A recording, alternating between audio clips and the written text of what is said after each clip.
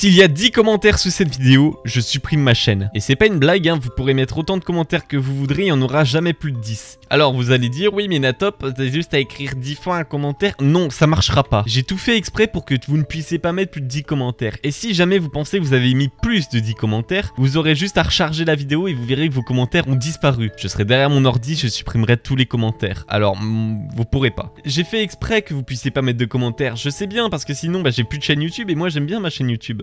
Du coup, voilà, vous ne pourrez pas mettre de commentaires sous cette vidéo. Il y en aura euh, moins de 10. Ça, je vous le garantis. En tout cas, peut-être que dès que vous verrez cette vidéo, il y aura un commentaire de YouTube sur celle-ci. Donc, bah, allez la voir. Et abonnez-vous aussi.